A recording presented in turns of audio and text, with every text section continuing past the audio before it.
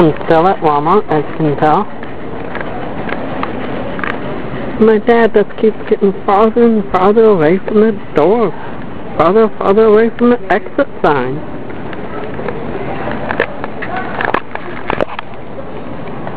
I've had enough of Walmart. I just want to go home now. Oh, Over and out, everybody.